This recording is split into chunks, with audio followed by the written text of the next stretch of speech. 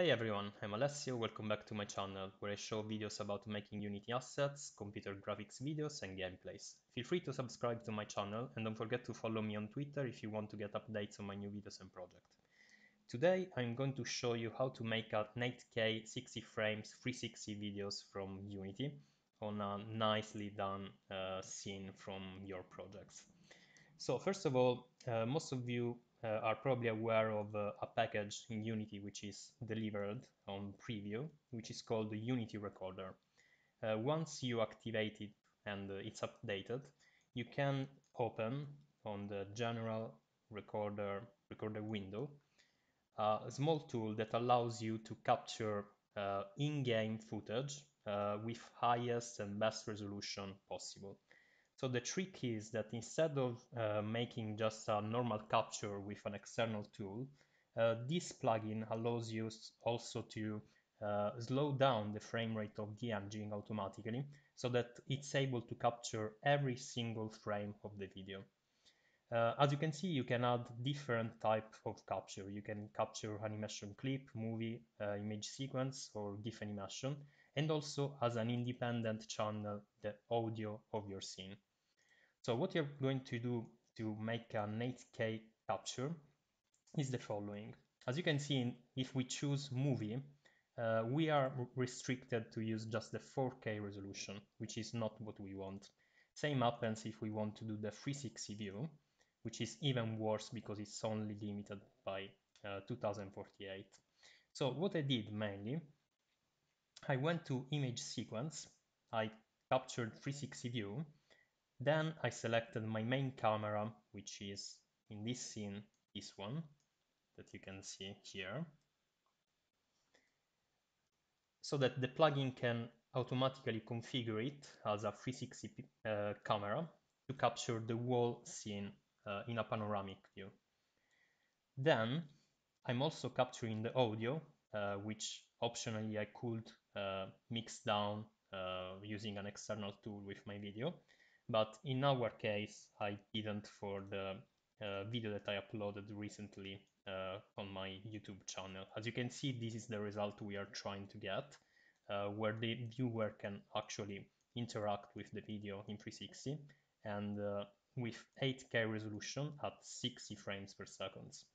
Uh, there is a little bit of uh, loss in quality still due to the YouTube codecs that are used, but this is so far the uh, highest quality that I uh, was able to achieve. So once you uh, make the acquisition, so imagine you select the folder and then you start capturing, what happens is the Unity plugin will automatically play your game and then it will start to capture. So after capturing, this is more or less the result that you will have. So you will have a sequence of pictures that are in 8K, as you can see here. And at the end, the same folder, you also get the mixdown, which is the sound that you capture during your game. The good thing about this is that the resolution of the picture is extremely high quality. So if you wanted to do it uh, using the movie instead, you can still actually change the resolution to 8K. However, the codec that is used on the video uh, is uh, not as good as we could uh, achieve with a different tool. So I looked online and I found this tool, which is called Hybrid, which many uh, professionals uh, actually use uh, to generate from existing videos or, ima or even image sequences that are stored on disk, MP4 with very advanced custom uh, configurations. So if you are curious about the configuration that I used, you can go to this website, mysterybox.us. I will put the link on description. And uh, this is the suggested uh, configuration that uh, I used to generate an 8K video from uh, the image sequence that I showed you before. So basically, you go here, you select the X264 uh, video uh, type.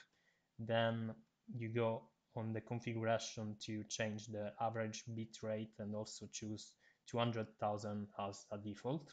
Uh, you can probably go even higher, but uh, I'm not sure um, if it's uh, wise because it should impact more the size of the produced video.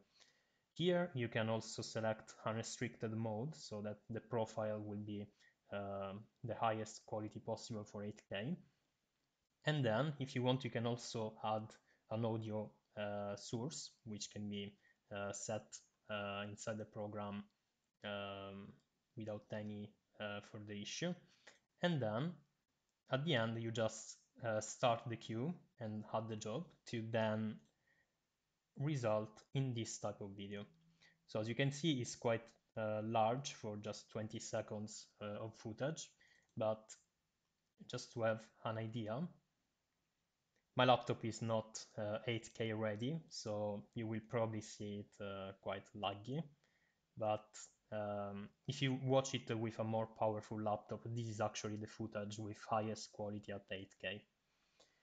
The thing that is missing, as you can see, is that the video is still in equirectangular format. So it's not still in 360 um, um, visualization. So to do that, there is a second tool that you are going to use, which is called the Spatial Media Metadata Injector. Basically what it does, it uh, adds some metadata that uh, are needed by YouTube so that your video will be considered by YouTube as a panoramic video. So what you do, you just download this tool and then uh, once selecting through this tool uh, your video, you can just generate uh, the injected version of the video. We can do it in real time right now so that you can have an idea of what to expect. So you just open this little tool, then you just open the file uh, that you need. So in this case, you just go to our test folder So here was the uh, scene that I showed before. So you open it, and then since it's equirectangular, he automatically uh, understands that uh, it's uh, compatible with a 360 panoramic video. Uh, but you can also do more. If you acquire, for example, in Unity, an image sequence, but also using stereo, which allows you to have the 3D stereoscopic picture rather than just the 2D uh, 361. And you can also choose the separation between the eyes to make the 3D stronger or, um, or softer. Uh, you can also select in that case the uh, second option, which is my video is stereoscopic 3D top bottom layout. And then once you do that, you can inject the metadata and just save uh, on a new file um, uh, based on the on the previous one.